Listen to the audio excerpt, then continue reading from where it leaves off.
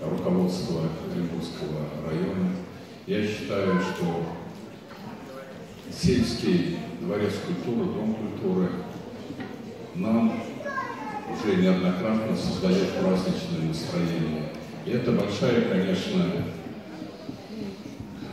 доля участия и большая поддержка со стороны Оренбург, Газпром нефти, я не знаю, там наши, как говорится, спонсоры, которые вот сейчас вот здесь вот как раз был, говорил Александр.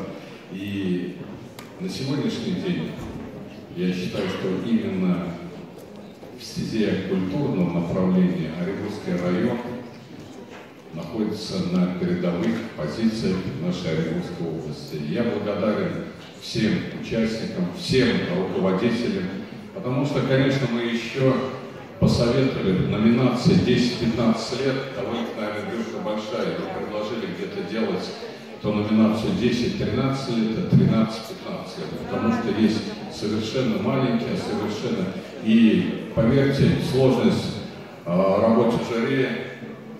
Конечно, мы были поставлены в такие трудные рамки, что у нас было, по-моему, могли первое, второе, третье место. Мы не могли ни дипломантов, ни там, лауреат второй, третьей степени. И, конечно, дети были очень талантливые, и, в принципе, они должны были где-то получить сказали, что устроители этого конкурса фестиваля не учтут наши пожелания замечательно, замечания. Ну, вообще все молодцы, спасибо всем. Я знаю, я неоднократно бывал и членом жюри председателя во многих других регионах нашей страны. И, в принципе, я знаю, какое это трудное и тяжелое, как говорится, дело, особенно для руководителей.